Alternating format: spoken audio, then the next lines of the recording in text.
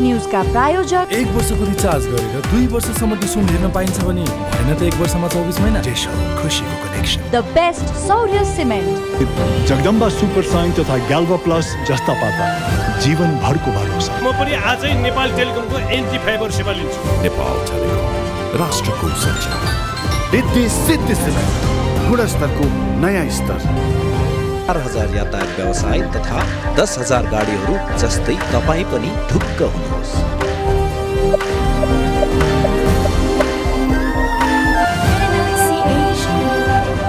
पनि साथी पनि राम्रो पनि हाम्रो पनि। र चारकै number one selling jump protection soap brand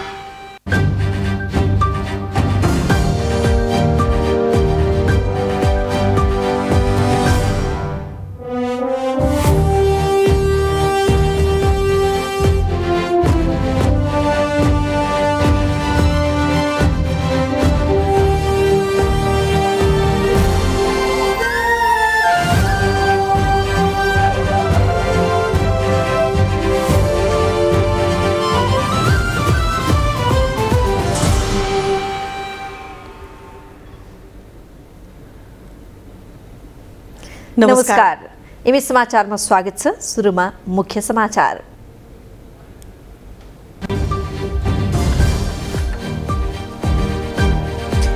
नेकपा एमालेको चुनावी घोषणापत्र सार्वजनिक समृद्धिको अभियानमा बाधक रहेका नीतिहरू सुधार गर्ने अध्यक्ष ओलीको प्रतिबद्धता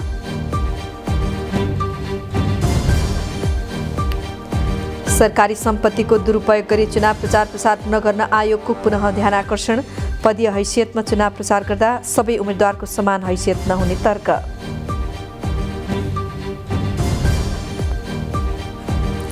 ललितपुर क्षेत्र नम्बर तीनकी उम्मेद्वार कार्कीको उम्मेदवारी कायम राख्न सर्वोच्चको अन्तरिम आदेश। दुई न्यायाधीशको संयुक्त इजलासले अन्तिम फैसला गर्ने। विप्लव नेतृत्वको नेकपाले मङ्सिर चार गतेको प्रतिनिधि र प्रदेशसभा निर्वाचन बहिष्कार गर्ने। चुनाव खारेज अभियान अंतर्गत देशव्यापी रूपमा भण्डाफोर र प्रचार अभियान चलाउने तयारी। इजरायलमा आम निर्वाचनका लागि मतदान जारी। नेतान्याहु र उहाँका प्रतिद्वन्दीबीच कडा प्रतिस्पर्धा हुने।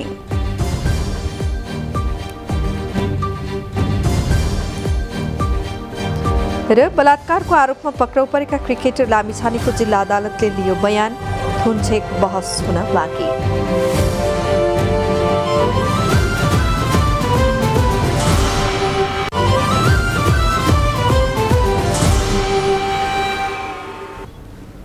समाचार अब विस्तारमा।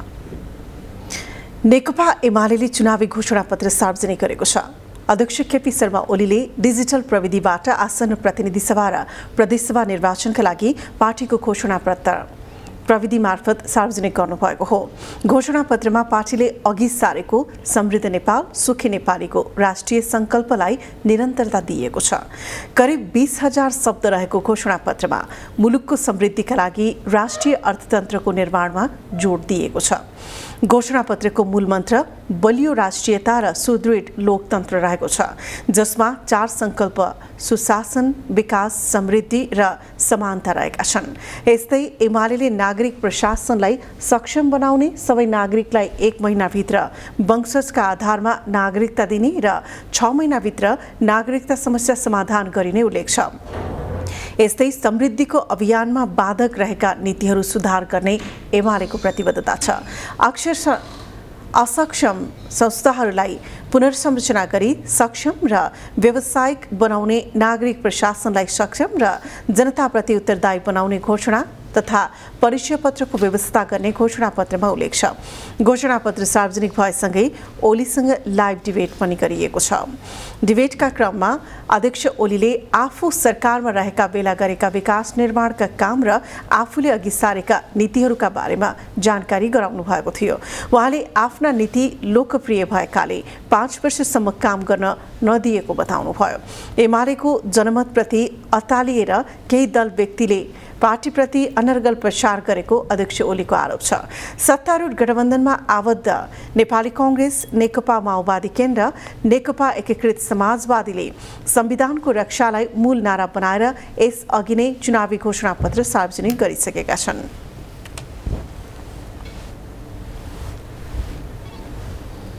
नेकपा आसन्न प्रदेशसभा र प्रतिनिधि सभालाई लक्षित गरेर चुनावी घोषणापत्र सार्वजनिक गर्यो।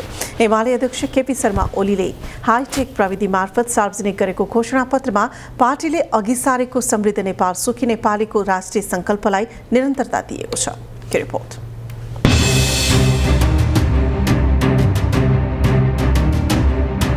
नेकपा एमाले बलियो राष्ट्रियता र सुदृढ लोकतन्त्र भन्ने मूल नाराका साथ आसन्न प्रतिनिधि सभा र प्रदेश सभालाई लक्षित गरेर चुनावी घोषणा पत्र सार्वजनिक गरेको छ जसमा चार संकल्प सुशासन विकास समृद्धि र समानता रहेका छन्। घोषणा पत्र मार्फत एमाले आगामी पाँच वर्षमा पार्टीले गर्ने काम बारे बिस मुदामा ग्यारेन्टी दिएको छ। घोषणा पत्रको पहिलो बुदामा पहिलो सेसनमा समृद्धि अधिवेशन गर्ने उल्लेख छ।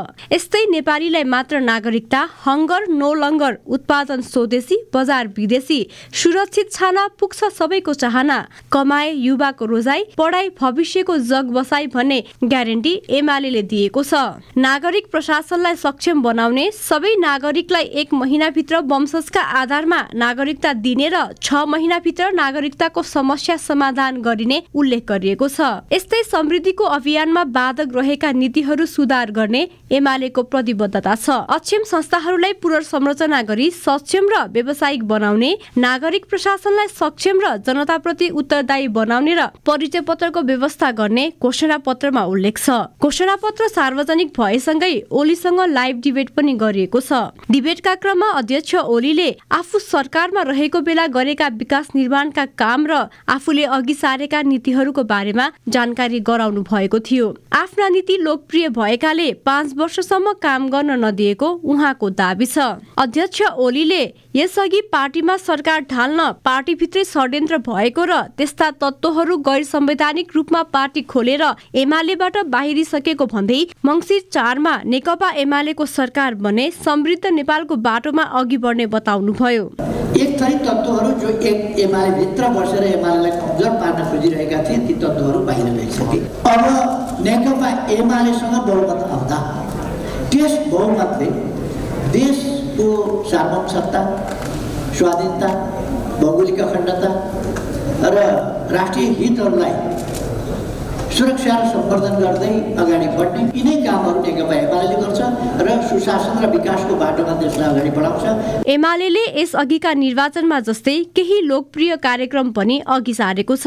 सुन्दा कर्णप्रिय लाग्ने तर आफू सत्तामा पुगेका बेला चुनावमा गरेका प्रतिबद्धतालाई व्यवस्था गर्ने दलहरूको प्रवृत्ति कायमै रहेको बेला एमाले फेरि पनि मतदातालाई आकर्षित गर्ने विभिन्न कार्यक्रम ल्याएको छ। अध्यक्ष ओलीले पार्टीको घोषणा पत्र देश विकास विकासको मार्गचित्र भएको दावी गर्नुभएको छ।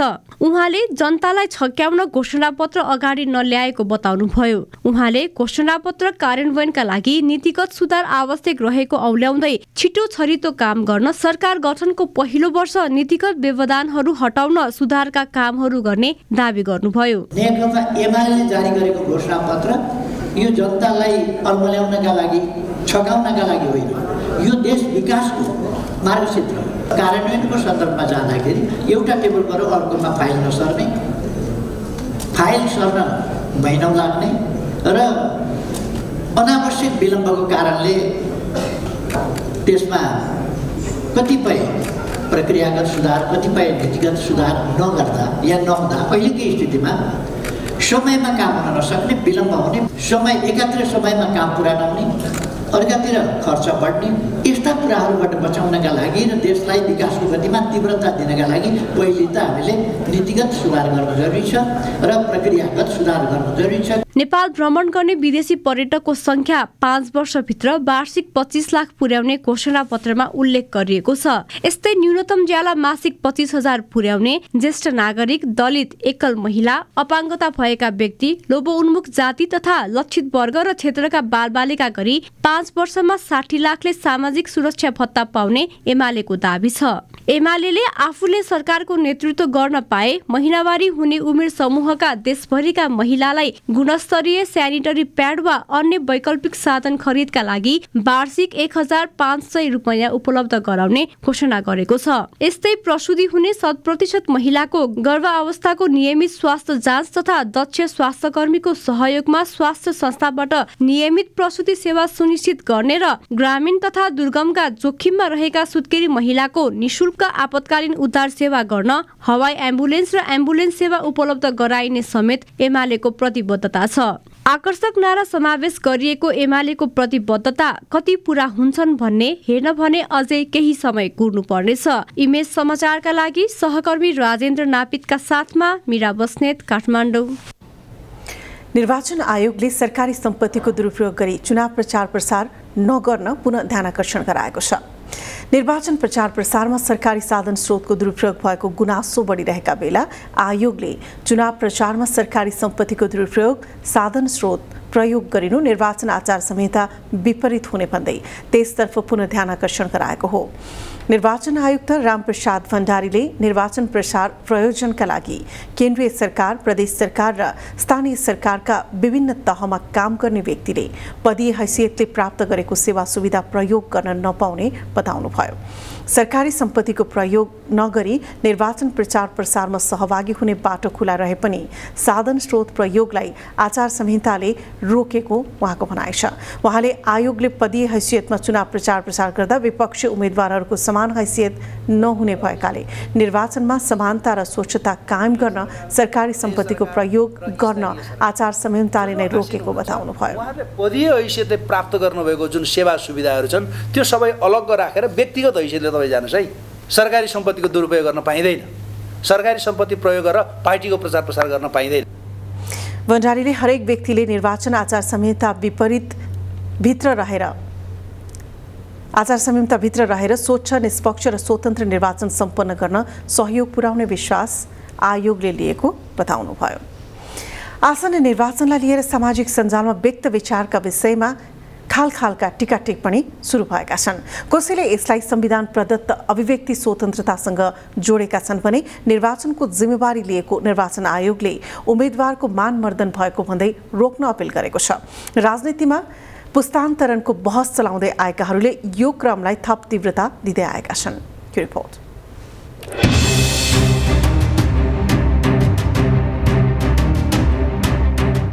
भित्ते लेखन माइकिङ सार्वजनिक सभामा आयोगले बन्देज लगाएपछि सामाजिक सञ्जाल दलहरूको प्रचार गर्ने सजिलो माध्यम भएको छ।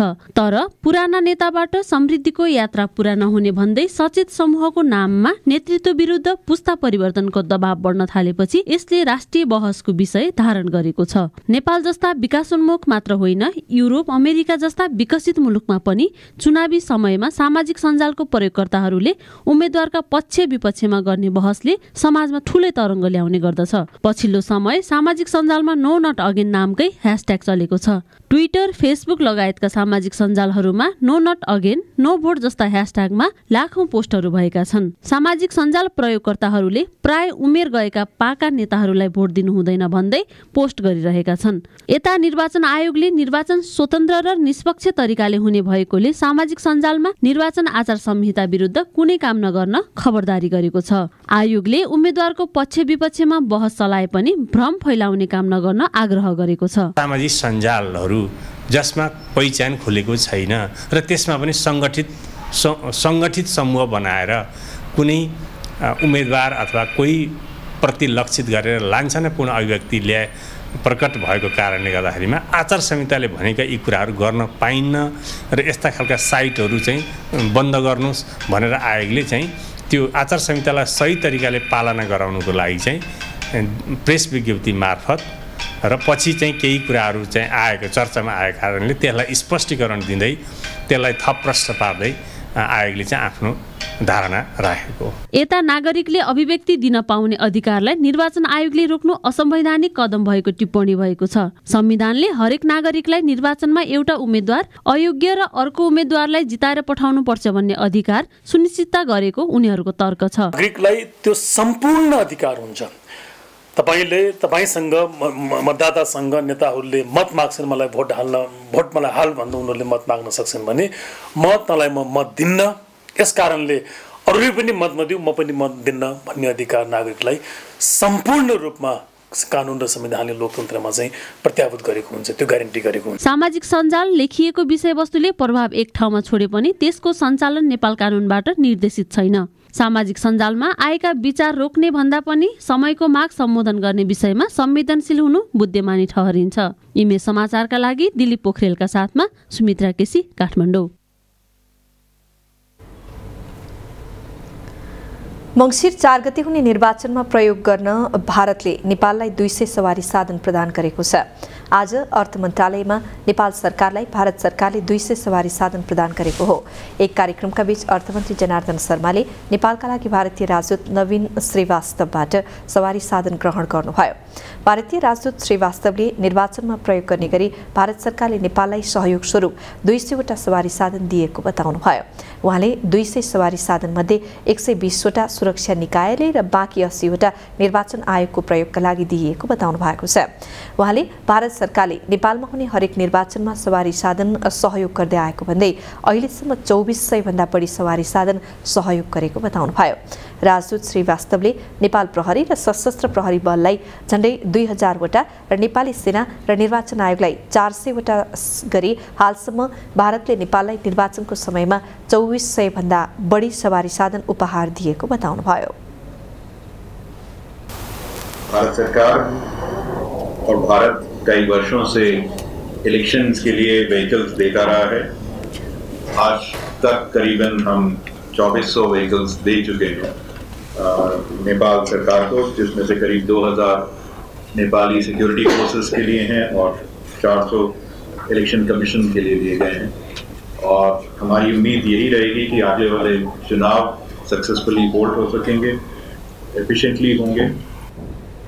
कार्यक्रममा अर्थमन्त्री शर्माले निर्वाचनका लागि सवारी साधन सहयोग गरेकोमा भारत सरकारलाई धन्यवाद दिनुभयो।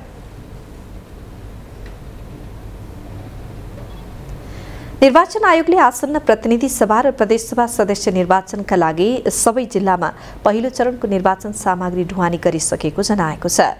यीमध्ये डोल्पा मुगु जुम्ला हुम्ला बाजुरा गोर्खा मनाङ र सिन्धुली जिल्लालाई आवश्यक पर्ने सम्पूर्ण सामग्री ढुवानी भइसकेको छ भने बाँकी जिल्लामा थप सामग्री दोस्रो चरणमा लगिने कार्यक्रम रहेको निर्वाचन आयोगका सहप्रवक्ता सूर्यप्रसाद अरियालले जानकारी दिनुभयो। हालसम्म आयोगले त्रियानब्बे ट्रक सामान ढुवानी गरिसकेको छ। दोस्रो चरणमा धेरै जनसङ्ख्या र निर्वाचन क्षेत्र भएका तराईका जिल्लामा सामग्री ढुवानी गरिने भएको छ। निर्वाचनका लागि पहिलो हुने निर्वाचित हुने निर्वाचन प्रणाली अन्तर्गत सात जिल्लाको मात्र मतपत्र छपाई हुन बाँकी रहेको आयोगले जनाएको छ। समानुपातिक निर्वाचन प्रणालीतर्फको सबै मतपत्र छपाई सम्पन्न भएर पचहत्तर जिल्लामा ढुवानी समेत भइसकेको छ। पहिलो हुने निर्वाचित हुने निर्वाचन प्रणाली अन्तर्गत अब काठमाडौँ ललितपुर भक्तपुर बारा धनुषा सर्लाही र रौतहट जिल्लाको मतपत्र छपाई हुन बाँकी रहेको छ। यी जिल्लामा करिब चौरासी लाख मतपत्र आवश्यक पर्नेछ। आयोगले हालसम्म समानुपातिक निर्वाचन प्रणालीका लागि करिब चार करोड तथा पहिलो हुने निर्वाचित हुने प्रणालीका लागि तीन करोड चौध लाख छप्पन्न हजार पाँच सय मतपत्र छपाई गरिसकेको छ। गुल्मी अर्घखाँची पाल्पा रूपन्देही कपिलवस्तु प्युठान रोल्पा दाङ सल्यान रुकुम पश्चिम तथा रुकुम पूर्वका मतपत्र ढुवानी समेत भइसकेको छ। ललितपुर क्षेत्र नम्बर तिनकी उम्मेद्वार तोसीमा कार्कीको उम्मेदवारी कायम राख्न सर्वोच्चले अन्तरिम आदेश जारी गरेको छ। न्यायाधीश कुमार चुडालको इजलासले आज उम्मेदवारी कायम राख्न अन्तरिम आदेश दिएको हो।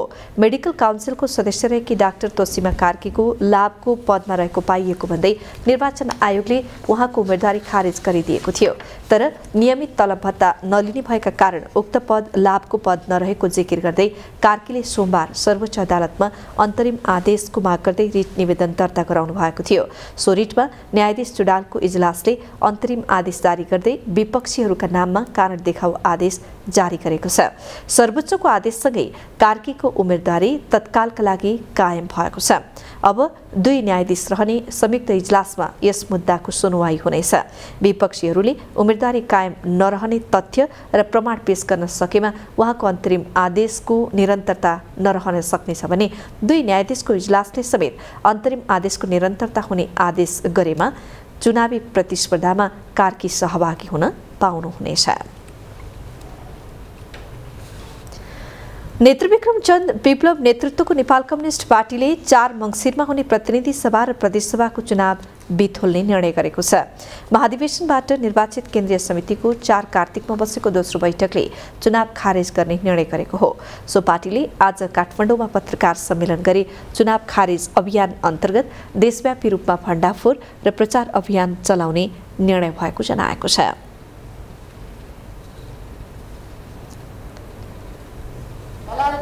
तथा सरकारद्वारा आयोजित मङ्सिर चार गतेको सङ्ग्रह प्रदेश सभा सदस्यको निर्वाचनलाई सशक्त प्रकारले खारेज गर्ने निर्णय गर्यो। खारेज अभियान प्रभावकारी बनाउन देशव्यापी रूपले चुनावको भण्डाफोर वालिङ पर्चा वितरण जुलुस सभाहरूको व्यापक रूपले आयोजना गर्ने साथै जनतालाई लुतेराहरूको चुनावमा भाग नलिन अपिल गर्ने निर्णय लिएको छ।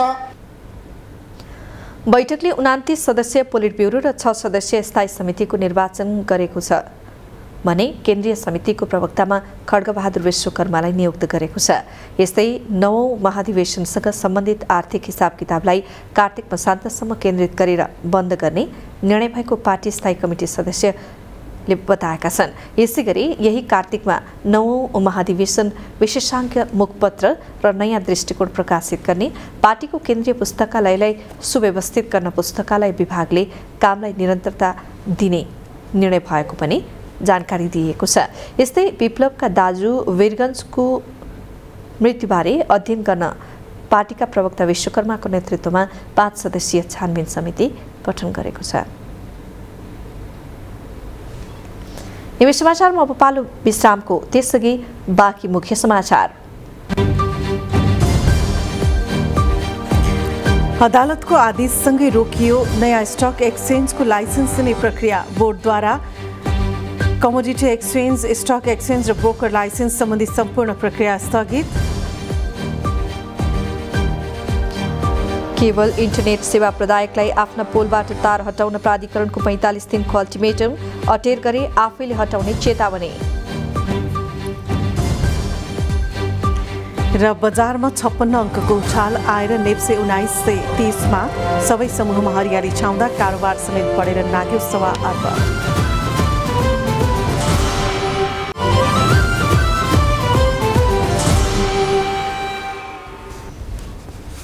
समाचारमा पुनः स्वागत छ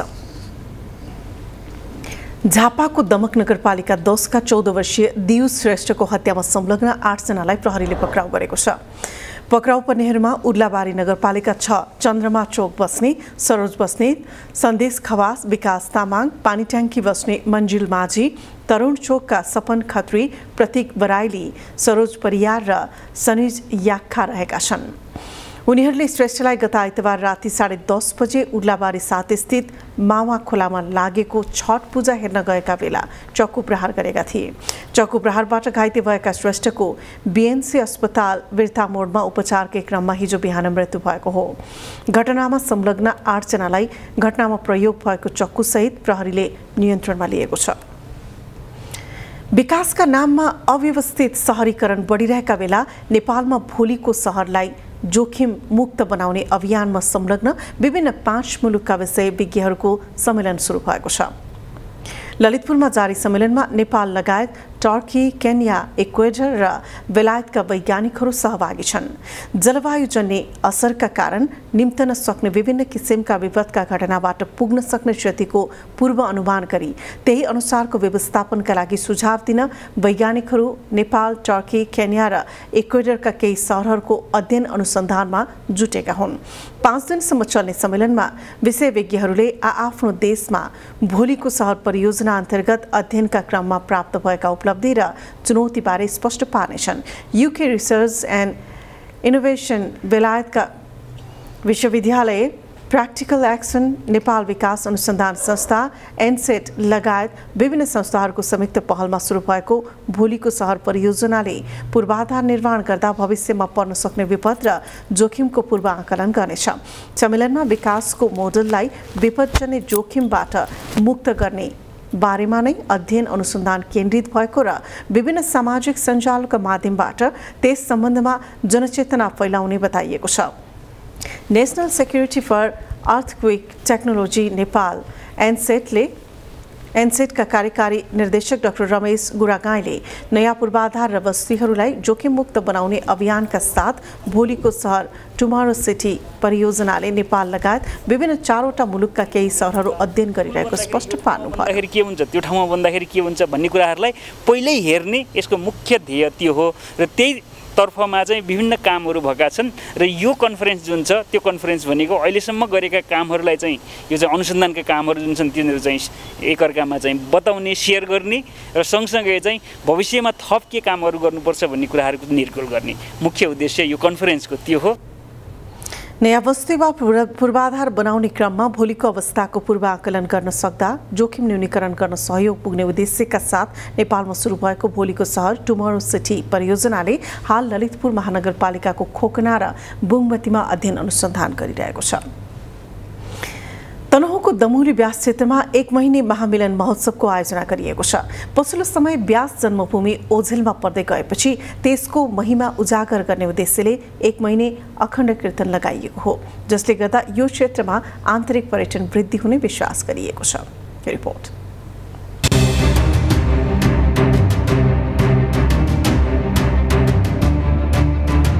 महादी र सेतीको सङ्गमस्थल ब्यास क्षेत्र परिसरमा एक महिने अखण्ड कीर्तन लगाइएको छ।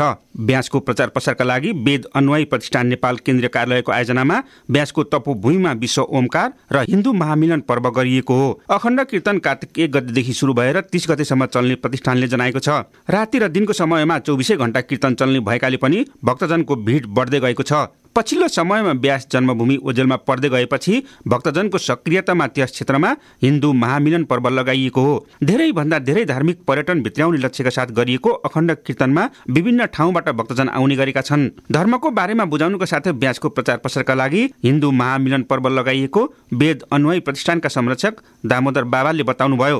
मुस्लिमको मक्का मदिना छ क्रिस्चियनको भेटघाट सिटी छ अब हाम्रो पनि एउटा हामी यो वैदिक सनातन हिन्दूहरूको पनि एउटा मूल थलोको रूपमा पूजित गर्नको लागि अहिले चाहिँ नि फेरि हामीले अब यो विश्व ओमकार तथा हिन्दू महामिलन पर्वको पावन अवसरमा एक महिनाको अखण्ड कीर्तन गर्ने सबैलाई बोलाएर यो यसको चाहिँ नि हामीले यो पूजन गरेको छौँ। यो चाहिँ हाम्रो यो भूमिको माटो पूजन भएको छ।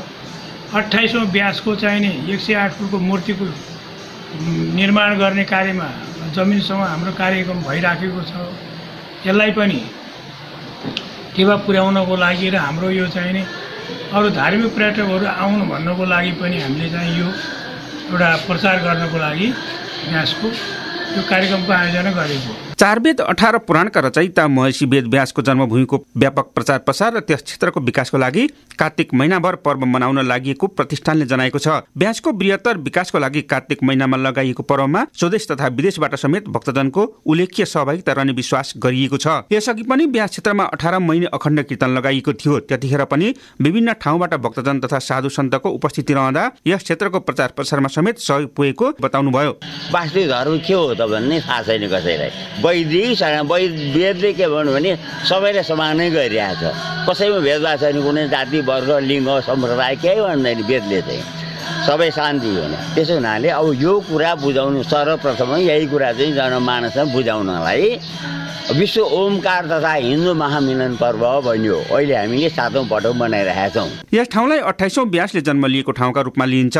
शिव पचान्य मन्दिर परिसरमा एक सय आठ फिटको अग्लो मूर्ति निर्माणको काम पनि भइरहेको छ। हिन्दू महामिलन एवं ज्ञान महायज्ञमा भगवत पूजा रुद्राभिषेक हवन लगायतका पाठ पराण हरिनाम सकीर्तन लगायत विभिन्न पाठपुटा समेत गरिने प्रतिष्ठानले जनाएको छ। ब्यासको प्रचार प्रसार गर्न सके यहाँ धेरैभन्दा धेरै धार्मिक पर्यटन भित्याउन सहयोग पुग्ने देखिन्छ। त्यसैले पनि ब्यास क्षेत्रको विकासको लागि पनि सबैले आफ्नो ठाउँबाट सहयोग गर्न जरुरी छ। इमेज समाचारका लागि तनहुबाट उपेन्द्र खनालको रिपोर्ट। संस्कृति पर्यटन तथा नागरिक उड्डयन मन्त्री जीवनराम श्रेष्ठले मानव अङ्ग दान गर्ने कामलाई राष्ट्रिय अभियानका रूपमा अघि बढाउनु पर्नेमा जोड दिनुभएको छ। मृगौला लगायतका अङ्गहरू फेल भएर बसेकाहरूको पुनर्जन्म हुने भएकाले मृत्यु पर्यन्त अङ्गदान गर्ने कार्यलाई अभियानको रूपमा अघि बढाउन उपयुक्त हुने उहाँको भनाइ छ।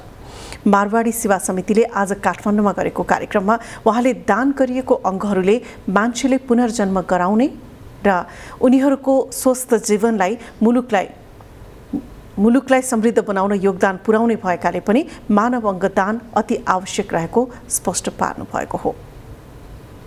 मन्त्री श्रेष्ठले मानवीय सेवाका क्षेत्रमा मारवाडी समुदायले खेल्दै आएको भूमिकाको पनि प्रशंसा गर्नुभयो। आगामी मङ्सिर चार गते हुने प्रतिनिधि सभा र प्रदेशसभा निर्वाचनका लागि बागलुङका एक सय छ मध्ये पैँतिस प्रतिशत मतदान स्थल अति संवेदनशील देखिएका छन्। जिल्ला सुरक्षा समिति बागलुङले अति संवेदनशील संवेदनशील र सामान्य गरी तीन तहमा वर्गीकरण गरे अनुसार पैँतिस प्रतिशत मतदान स्थललाई अति संवेदनशील पन्ध्र प्रतिशत मतदान स्थललाई संवेदनशील र पचास प्रतिशत मतदान स्थललाई सामान्यमा राखिएको छ। विगतको निर्वाचनमा देखिएका गतिविधि अब हुन सक्ने गतिविधि पूर्वाधारको विकास सुरक्षा निकायको पहुँच मतदाता र उम्मेद्वारलाई आधार बनाएर मतदान स्थललाई वर्गीकरण गरिएको हो।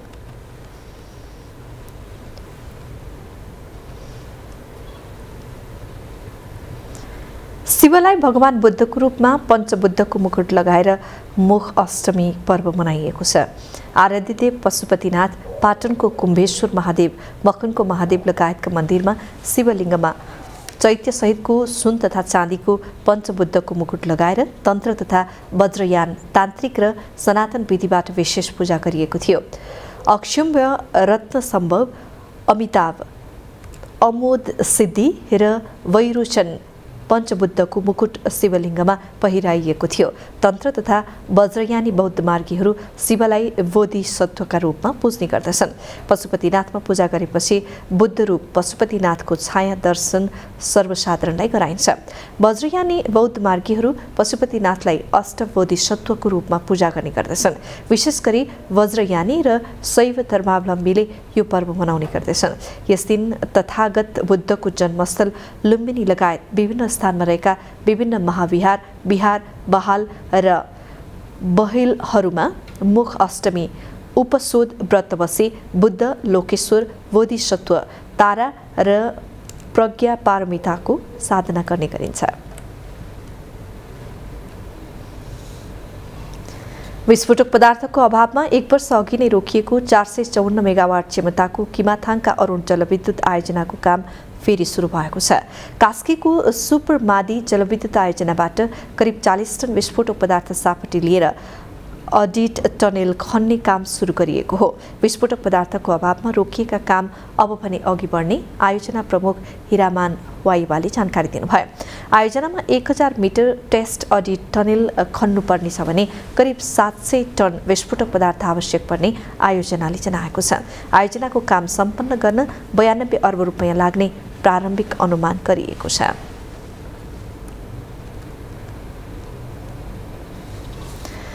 पोखरा महानगरपालिकाले प्रयोजन विपरीत चलाइएका संरचना भत्काएको छ। पार्किङ प्रयोजनका लागि भन्दै कर छुट दिएर निर्माण गरिएका भूमिगत पार्किङमा प्रयोजन विपरीत व्यवसाय चलाएको संरचना भत्काएको महानगरपालिकाले जनाएको छ। पोखराका विभिन्न आठवटा भूमिगत व्यवसाय हटाउन महानगरका मेयर धनराज आचार्य सहितको टोली डोजर लिएर पुग्नु भएको थियो। जसमा भूमिगत व्यवसाय गर्न प्रयोग गरिएका तीनवटा सिँढी मापदण्ड विपरीतका छत र होर्डिङ बोर्डमाथि डोजर चलाइएको हो। भूमिगत पार्किङ स्थल भनी उल्लेख गरिएको ठाउँ प्रयोजन खुलाए अनुरूप नै प्रयोग गर्न महानगरले सूचना जारी गरेको थियो। महानगरले भदौ दोस्रो साता पैँतिस दिने सूचना जारी गरेको थियो। सूचना जारी गरेपछि व्यवसायले दसैँसम्म व्यवसाय सञ्चालन गर्न दिन आग्रह गरेका कारण महानगरले उक्त अवधि कुरेको मेयर आचार्यले बताउनुभयो। यस्तै पटक पटक सूचना दिनेदेखि पार्किङ व्यवसाय चलाएका व्यवसायी र घरधनीलाई पार्किङ प्रयोजनकै लागि भूमिगत क्षेत्र प्रयोग गर्न आग्रह मेयर आचार्यले बताउनु भएको छ। पोखरा महानगरको तथ्याङ्क अनुसार महानगरभित्रका दुई सौ पचासवटा भवन में भूमिगत बनाइएका छन्।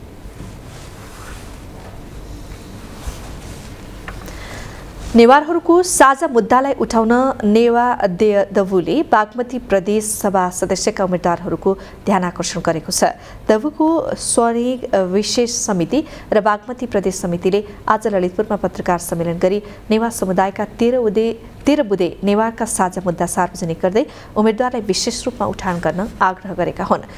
नेपालले अनुमोदन गरेका अन्तर्राष्ट्रिय श्रम संगठन महासन्धि एक सय उनासत्तरी आदिवासी जनजाति अधिकार सम्बन्धी संयुक्त राष्ट्रसङ्घीय घोषणापत्र लगायतका महासन्धि अनुसारका मुद्दाहरू समेट्न उम्मेद्वारलाई आग्रह गरिएको हो। यसमा नेपाल भाषा र नेपाल सम्बन्ध कार्यान्वयन गर्ने भू उपयोगी नीति लागू गर्ने स्वायत्त क्षेत्र संरक्षित क्षेत्र र विशेष क्षेत्रहरू घोषणा गर्नुपर्ने लगायतका छन्।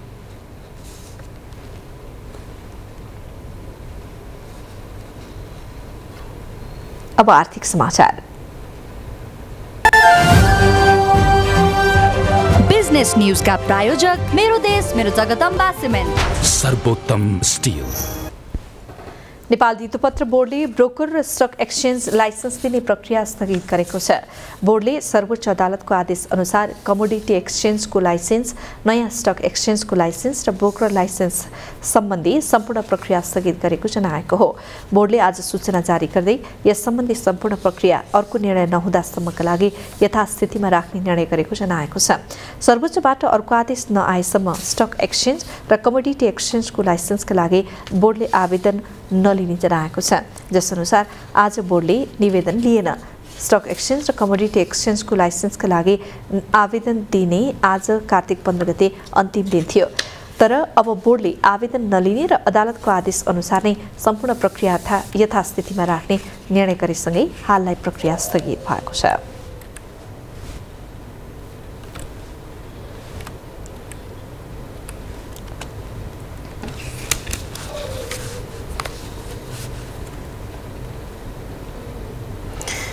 तिहारको बिदापछिको दोस्रो कारोबारको दिन सेयर बजारमा उछाल आयो।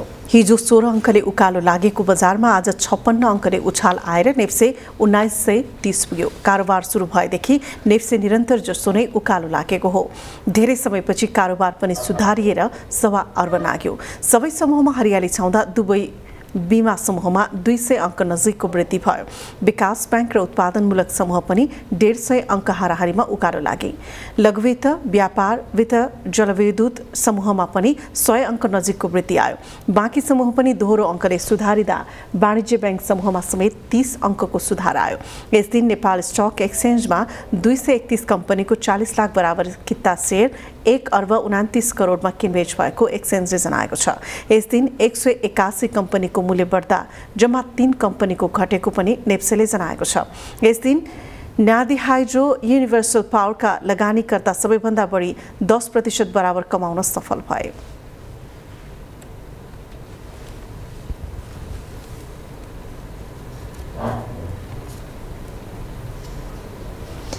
नेपाल विद्युत प्राधिकरणले केवल इन्टरनेट सेवा प्रदायकलाई आफ्ना पोलबाट तार हटाउन पैँतालिस दिनको अल्टिमेटम दिएको छ। अटेर गरे आफैले हटाउने प्राधिकरणले चेतावनी दिएको छ। आफ्नो स्वामित्वमा रहेका विद्युतीय पोलमा तागिएका केबल टेलिभिजन इन्टरनेट टेलिफोनका तार तथा उपकरणहरू व्यवस्थापन गर्न प्राधिकरणले सेवा प्रदायकलाई पैँतालिस दिनको समय सीमा दिएको हो। प्राधिकरणले आज सार्वजनिक सूचना जारी गर्दै यस्तो निर्देशन दिएको छ। प्राधिकरणले विद्युतीय पोलमा राखिने संरचनाको मापदण्ड तोकी सोही अनुसार व्यवस्थापन गर्न सेवा प्रदायकलाई निर्देशन दिएको छ। विद्युतीय पोलमा अव्यवस्थित तरिकाले तानिएका तार तथा जथाभावी चुन्ड्याइएका उपकरणका कारण सहरलाई कुरूप बनाउनका साथै आगलागी लगायतका दुर्घटना बढेको प्राधिकरणले जनाएको छ। उस्तै प्रवाह गरिरहेको विद्युतीय सेवामा समेत अवरोध उत्पन्न भएको जनाएको छ।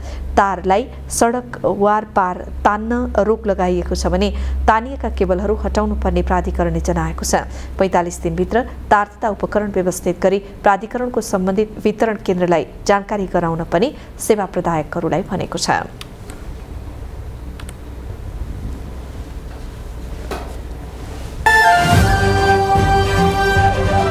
बिजनेस न्यूज का प्रायोजक मेरो देश मेरो जगदम्बा सिमेन्ट। सर्वोत्तम स्टिल। हिमी समाचारमा फेरि पालो विश्रामको त्यसअघि बाँकी मुख्य समाचार।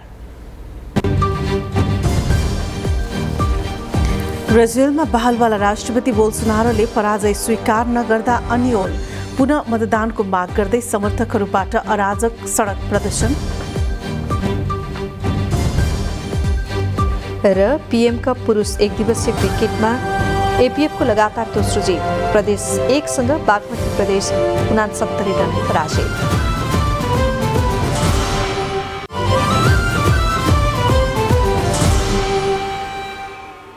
अब खेल समाचार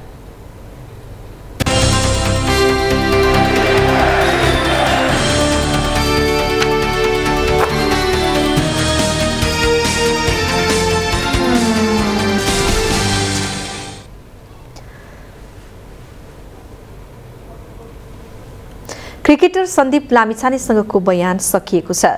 जिल्ला अदालत काठमाडौँका न्यायाधीश माधव प्रसाद घिमिरेको इजलासमा सन्दीपको बयान भएको हो। सत्र वर्षीय नाबालिगमाथि बलात्कार गरेको आरोपमा पक्राउ परेका सन्दीप विरुद्ध जिल्ला सरकारी वकिलको कार्यालयले सोमबार अभियोग पत्र दायर गरेको थियो। अभियोग पत्र दायरपछि अदालतमा मङ्गलबार सन्दीपको बयान भएको हो। सन्दीपसँग बयान लिने काम सकिएकाले बुधबारबाट थुन्चेक बहस हुने सन्दीप पक्षका वकिल मुरारी सापकोटाले बताउनुभयो।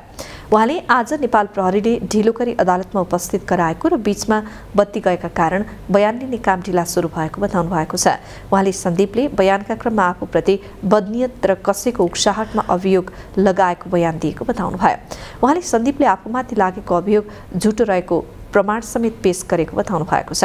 उहाँले पीडित किशोरीले अनुसन्धानका क्रममा दिएको विवरण र डाक्टरहरूको समूहमा स्वास्थ्य परीक्षण गराउँदा दिएको विवरण मेल नखाएको पनि बताउनुभयो।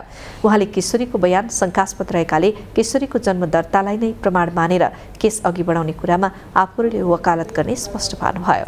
गर्नुभएको जुन बयान छ अथवा आफ्नो इन्कारी बयानलाई नै होइन?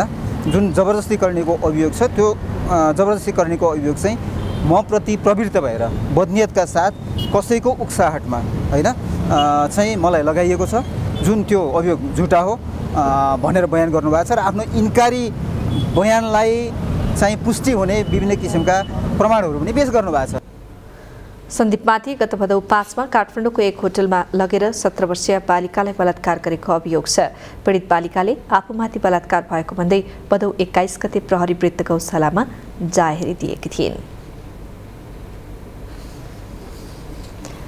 विभागीय टोली एपिएफ क्लबले पिएम कप पुरुष एक दिवसीय क्रिकेटमा लगातार दोस्रो जित निकालेको छ। मुलपानी क्रिकेट मैदानमा आज भएको खेलमा सुदूरपश्चिम प्रदेशलाई दस विकेटले हराउँदै एपिएफले लगातार दोस्रो जित निकालेको हो। सुदूरपश्चिमले दिएको अडसठी रनको लक्ष्य एपिएफले एघार ओभर दुई बलमा बिना विकेटको क्षतिमा पुरा गर्यो। एपिएफको जितमा ओपनर आसिफ शेखले अभिजित बयालिस रन जोडे अर्का ओपनर प्रदीप ऐरी पच्चिस रनमा अभिजित रहे। त्यसअघि पहिले ब्याटिङ गरेको सुदूरपश्चिमले सत्ताइस ओभरमा अल आउट हुँदै सडसठी रन बनाएको थियो। मैदान ओसिलो भएपछि ढिला खेल सुरु हुँदा खेल त्रिचालिस ओभरमा झारिएको थियो। सुदूरपश्चिमका लागि कप्तान राजु रिजालले सर्वाधिक चौबिस रन बनाए। अन्य ब्याट्सम्यानले दोहोरो अङ्कको रन जोड्न सकेनन्। जेसँगै एपिएफले दुई खेलमा दुई अङ्क जोडेको छ। एपिएफ समूह एको शीर्ष स्थानमा उक्लिएको छ। पहिलो खेलमा एपिएफले आर्मीलाई हराएको थियो। सुदूरपश्चिमको यो लगातार दोस्रो हार हो। पहिलो खेलमा सुदूरपश्चिम गण्डकी प्रदेशसँग पराजित भएको थियो। अङ्कविहीन सुदूरपश्चिम पुछारमा छ। यसैबीच आज भएको अर्को खेलमा प्रदेश एकले बागमती प्रदेशलाई उनासत्तरी रनले हराउँदै पहिलो जित निकालेको छ। प्रदेश एकले दिएको तिन सय पाँच रनको लक्ष्यसहित जवाफी ब्याटिङ गरेको बागमतीले पैँतालिस ओभर पाँच बलमा अल आउट हुँदै दुई सय पैँतिस रन मात्र बनाउन सक्यो। त्यसअघि टस जितेर पहिले ब्याटिङ रोजेको प्रदेश एकले उनापचास ओभर पाँच बलमा अल आउट हुँदै तिन सय चार रन बनाएको थियो।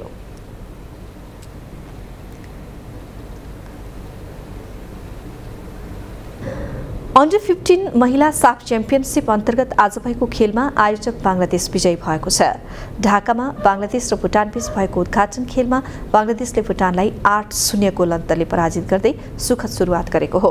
अन्डर फिफ्टिन महिला च्याम्पियनसिपमा आयोजक बङ्गलादेशसँगै नेपाल र भुटानको सहभागिता छ। नेपालले पनि आगामी बिहिबार भुटानसँग खेल्दै प्रतियोगिताको सुरुवात गर्ने भएको छ। डबल राउन्ड रोबिन लिगको आधारमा सञ्चालन हुने प्रतियोगिताको शीर्ष टोलीले उपाधि जित्नेछ।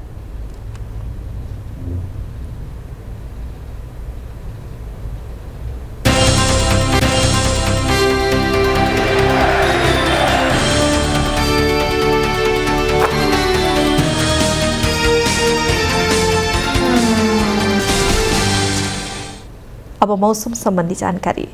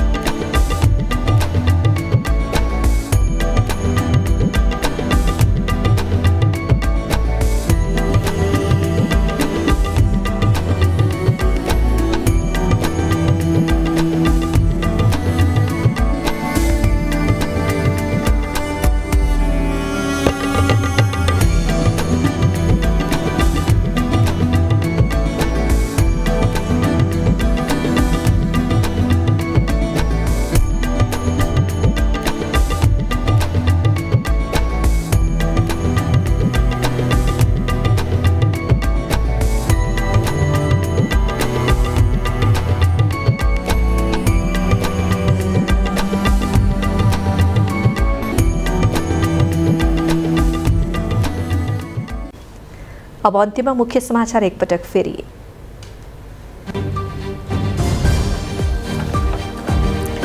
नेकपा एमालेको चुनावी घोषणापत्र सार्वजनिक समृद्धिको अभियानमा बाधक रहेका नीतिहरू सुधार गर्ने अध्यक्ष ओलीको प्रतिबद्धता।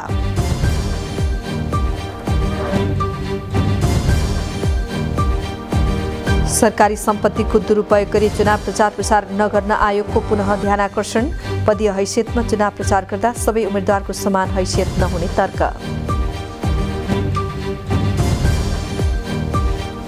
ललितपुर क्षेत्र नम्बर तीनकी उम्मेद्वार कार्कीको उम्मेदवारी कायम राख्न सर्वोच्चको अन्तरिम आदेश। दुई न्यायाधीशको संयुक्त इजलासले अन्तिम फैसला गर्ने।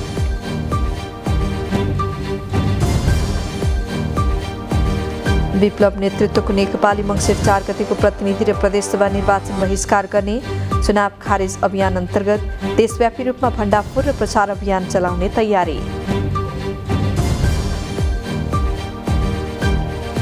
इजरायलमा आम निर्वाचनका लागि मतदान जारी। नेतान्याहु र उहाँका प्रतिद्वन्दी बीच कडा प्रतिस्पर्धा हुने।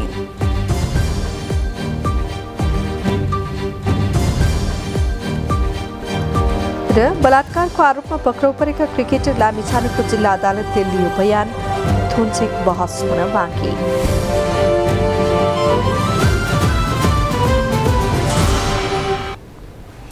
हवस् त इमेज समाचार अहिलेलाई सकियो। इमेज समाचार तपाईँले हाम्रो वेबसाइट इमेज खबर डट कममा हेर्न सुन्न पनि पढ्न सक्नुहुनेछ इमेज च्यानल हेर्दै रहनुहोला नमस्कार।